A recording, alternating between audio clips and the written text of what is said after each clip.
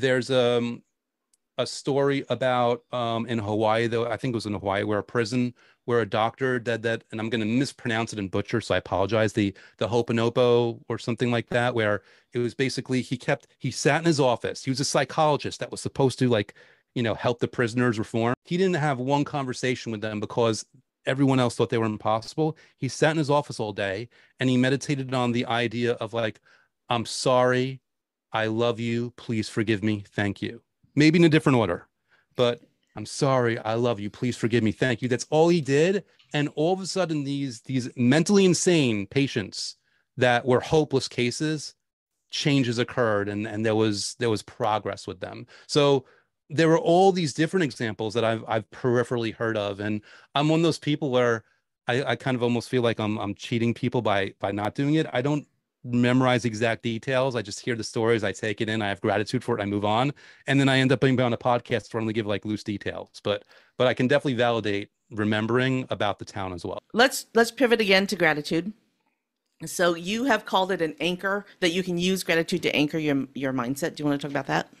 Yeah, well, there, there's many examples I give, um, but whenever I get going down that conversation, it's all about finding a really good method that that really I'm all about dynamically like sinking your teeth in into this in a way that it just it leaves an impression. It's like one of my favorite methods for my book I like to teach. I call it the time lapse method.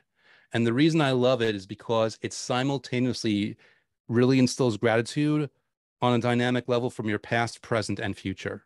And and the way the method works is um, and you can use any number, but I say 15. I, I write 15 things down that I'm grateful for five are from my past, five are from my present, and five are from my future. And what I do is I then jumble up the list so that maybe the first list is a present thing, and then there's a past thing, and then a present, and then the present, then another future.